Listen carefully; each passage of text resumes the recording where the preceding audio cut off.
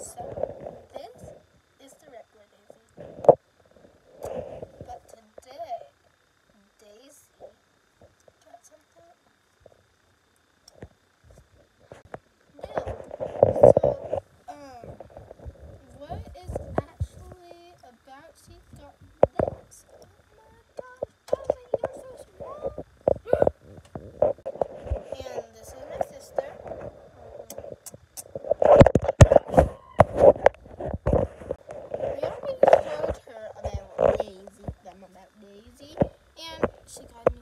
actually bought it for Daisy's birthday, which was today.